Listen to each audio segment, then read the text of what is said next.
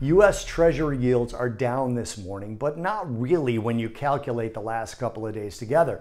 See, cash bond yields are down right now. For example, the two year is down 10, the five year is down 12, the 10 year is down 9, the 30 year is down 7.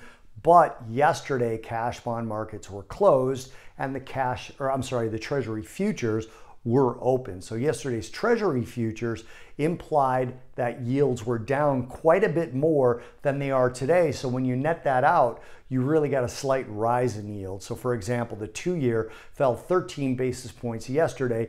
Cash bond yields are falling in sort of a catch up mode, but they're down 10. So that really means a net up three. And it's the same thing with like the 10 year yesterday. We had it down about 12 basis points implied by the futures curve move. And now we're actually down nine. So you're really up three net net. So that's the way to look at it.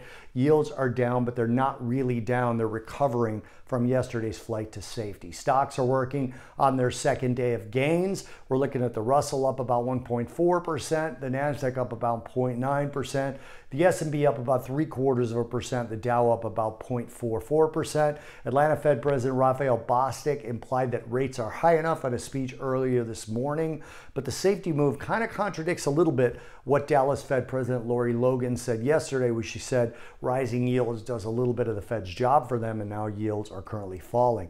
The NFIB Small Business Optimism Index fell further to 90.8 from 91.3. Expectations were for 91.4. Also, the Japanese Eco Watcher survey, both current and future outlook, fell into pessimism territory below 50. Above 50 is optimism, below 50 is pessimism, and they both fell below 50. So that safety trade that I talked about is actually slowing a little bit. Oil is a little bit of an unconvincing drop. It's lower by about 1% today, but it's not actually going back down and capturing most of the gains from yesterday.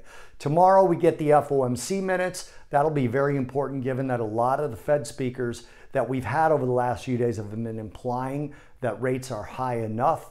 And then looking ahead today, Fed President Neel Kashkari, San Francisco Fed President Mary Daly speaking, tomorrow Fed Governor Michelle Bowman and Christopher Waller. Earnings season begins this week.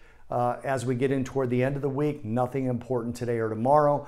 Tonight, we get the Reuters Tankan Index in Japan. Tomorrow morning, German inflation data, Chinese new yuan loans, US PPI, and those FOMC minutes that I just mentioned.